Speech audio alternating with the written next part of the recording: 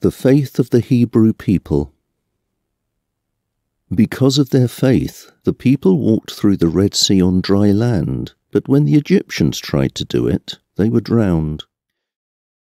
God's people had faith, and when they'd walked around the city of Jericho for seven days, its walls fell down. Rahab had been a prostitute, but she had faith and welcomed the spies so she wasn't killed with the people who disobeyed. Oh, what else can I say? There isn't enough time to tell about Gideon, Barak, Samson, Jephthah, David, Samuel, and the prophets. Their faith helped them conquer kingdoms, and because they did right, God made promises to them. They closed the jaws of lions, and put out raging fires, and escaped from the swords of their enemies. Although they were weak, they were given the strength and power to chase foreign armies away. Some women received their loved ones back from the earth. Many of these people were tortured, but they refused to be released. They were sure they would get a better reward when the dead are raised to life.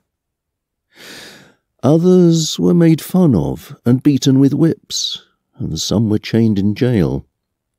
Still others were stoned to death, or sawed in two, or killed with swords. Some had nothing but sheepskins or goatskins to wear. They were poor, mistreated, and tortured.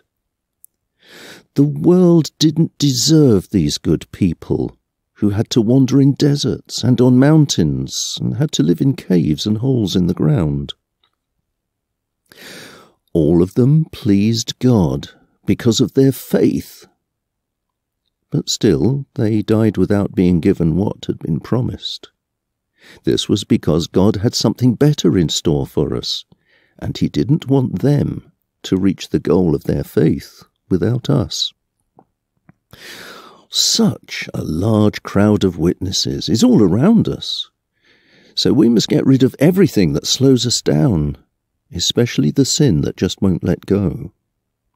And we must be determined to run the race that is ahead of us. We must keep our eyes on Jesus, who leads us and makes our faith complete. He endured the shame of being nailed to a cross, because he knew later on he'd be glad he did. Now he's seated at the right side of God's throne.